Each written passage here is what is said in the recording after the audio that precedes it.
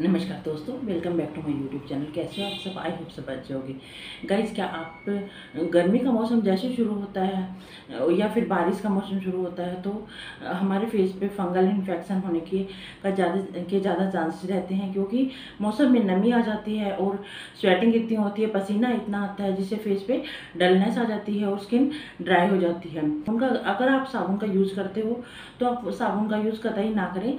क्योंकि साबुन से हमारे फेस पर डलनेस आएगी और ड्राइनेस आ जाएगी और स्किन में जो मॉइस्चर होता है वो धीरे धीरे स्किन से गायब हो जाएगा और स्किन बिल्कुल रफ और बेकार हो जाएगी। तो आपको क्या करना चाहिए? या तो आपको माइल्ड सा जो फेस वॉश होता है या तो वो अप्लाई करना चाहिए। अगर आप वो अप्लाई नहीं करते हो तो आपको होम होममेड जो चीज़ें होती हैं उससे अपना फेस क्लीन करना चाहिए।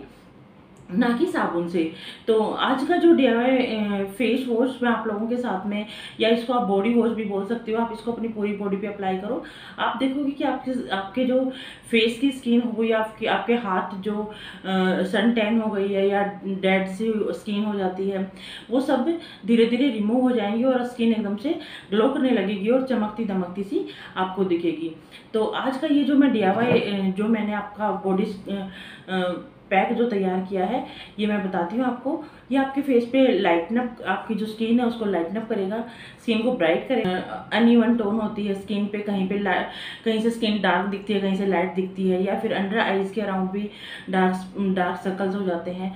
तो उन सब चीज़ों पर ये वर्क करेगा। पैक मैं आप लोगों के साथ में लाई हूँ। इसको बना के स्टोर करके आप रख सकते हो। इसको आप कम से कम पंद्रह दिन, बीस दिन आराम से रख सकते हो, क्योंकि बहुत ड्राई है। आपको जब भी इसको बनाना है, आपको एक एक चम्मच लेना है, किसी भी बाउल में डालना आप उसको और उसके बाद में आप इसको आपके पास अगर दूध है तो आप दूध डालें। दूध अगर आपके पास ठंडा रो मिल्क है तो वो आप इसके अंदर ऐड करना और पूरे फेस पे, हाथ पे आप इसको अप्लाई करना। गर्दन पे बिल्कुल मत भूलना क्योंकि गर्दन की स्किन भी काफ़ी डार्क हो जाती है और स्वेटिंग आती है उसकी वजह से सारी बॉडी पे ही डलनेस आ जाती है। तो आप इसको पूरी बॉडी पे अप्लाई कर सकते हैं। आप चाहो तो आप इसके अंदर दूध दही या फिर आप गुलाब जल ऐड करना।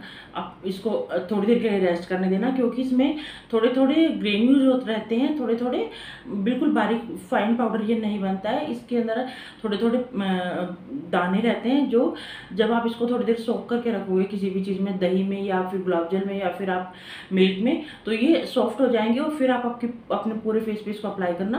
बहुत ही हल्के हाथ से आप इसको पूरे फेस पे इसको रब करना और उसके बाद में आप सिंपल पानी से आप वॉश कर लेना। आप देखोगे कि धीरे धीरे स्किन पे क्या ग्लो आ गया है क्या निखार आ गया है और आप, आप आप जब इसको अप्लाई करते जाओगे पंद्रह दिन का ये पैक है जब आप इसको अप्लाई करते जाओगे और पंद्रह दिन में आप देखोगे आपकी स्किन कितनी स्मूथ शाइनी और ग्लो करने लगी है। और अगर आपको इससे थोड़ा सा भी इफ़ेक्ट नज़र आए थोड़ा सा भी आपकी स्किन में चेंज नज़र आए तो आपको क्या करना है? आपको मेरे चैनल पे वापस आना है। आगे आपको चैनल को सब्सक्राइब करना है और वीडियो को थम्सअप करना है। और कमेंट करके ज़रूर बताना कि आपको इससे बेनिफिट मिले या नहीं मिले। तो मैं अब मैं बताती हूँ इसको, इस चीज़ में क्या आपको क्या क्या चीज़ें आपको इसके अंदर ऐड करनी है। तो चलो शुरू करते हैं। आज की रेमेडी तो भाई, चलो शुरू करते हैं आज की रेमेडी हमें लेना है सबसे पहले दो चम्मच चावल।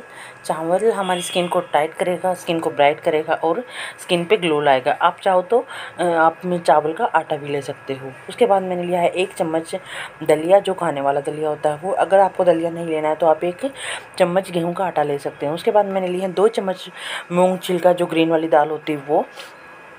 और इसके बाद में मैं इसके अंदर डालूँगी दो चम्मच चने की दाल। आप चाहो तो इसकी जगह पे बेसन यूज़ कर सकते हो। इसके बाद में मैं इसके अंदर डालूँगी एक चम्मच वाइट जो उड़द दाल होती है, वो वाली।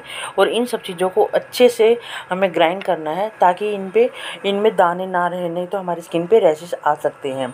और इनको अगर आपको लगे कि आपका पाउडर फाइन नहीं बना है तो आप इसको छान लें। और छान के जो बारीक पाउडर बने वो आपको यूज़ में लाना है। इन सब चीज़ों को करके रख लेना है स्टोर।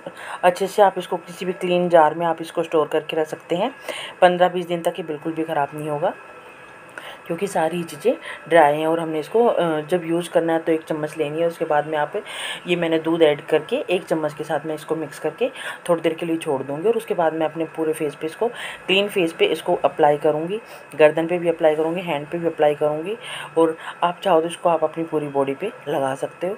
और आप देखोगे कि धीरे धीरे आपकी स्किन काफ़ी ग्लो करने लगी है और स्मूथ और शाइन भी आ गई है और जो अनवांटेड हेयर होते हैं वो भी, क्योंकि इसमें सारी चीज़ें आटा फॉर्म में है तो ये सारी चीज़ें ही, जो फेस पे अनवांटेड हेयर होते हैं, वो भी धीरे धीरे रिमूव होंगे और स्किन एकदम से ग्लो करेगी स्मूथ हो जाएगी और काफ़ी शाइन भी आ जाएगी स्किन पे।